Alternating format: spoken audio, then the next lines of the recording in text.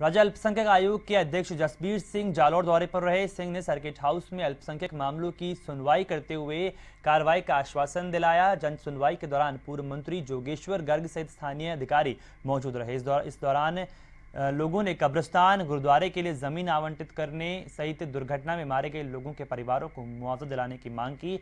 जसबीर सिंह ने कार्रवाई का भरोसा यहाँ पर लोगों को दिलाया।